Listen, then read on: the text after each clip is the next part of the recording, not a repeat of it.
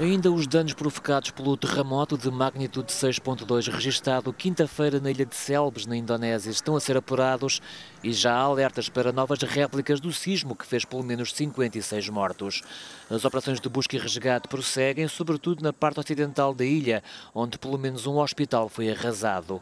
Os funerais de algumas das vítimas decorreram já este sábado, dia em que foi registada uma réplica de magnitude 5.0, entre as quase 50 já sentidas na região desde quinta-feira.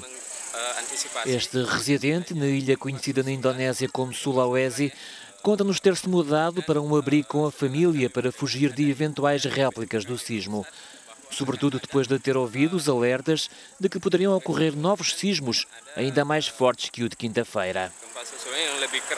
Os diversos centros de abrigo improvisados na ilha começam a ficar saturados e sem condições para os milhares de deslocados que continuam a chegar. As autoridades têm vindo também a separar os refugiados em grupos de baixo e alto risco por causa da Covid-19.